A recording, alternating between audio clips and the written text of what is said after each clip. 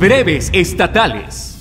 La Dirección Ejecutiva del Registro Federal de Electores del Instituto Nacional Electoral presentó el segundo escenario de redistritación electoral para el proceso de 2018 en el cual se aprecian modificaciones en la conformación y denominación de cinco distritos de la Sierra Norte de Puebla. La Fiscalía Especializada para la Atención de Delitos Electorales FEPADE de la Procuraduría General de la República obtuvo de un juez de distrito en el estado de Veracruz el auto de formal prisión en contra de cuatro personas que se desempeñaban como servidores públicos de la Sede Sol allá en tierras veracruzanas por delitos electorales. Y finalmente la PGR cumplimentó cinco órdenes de aprehensión contra igual número de policías del municipio de Cárdenas, Tabasco, a quienes investiga por el delito de secuestro agravado. Para el punto crítico, Miguel Muñoz.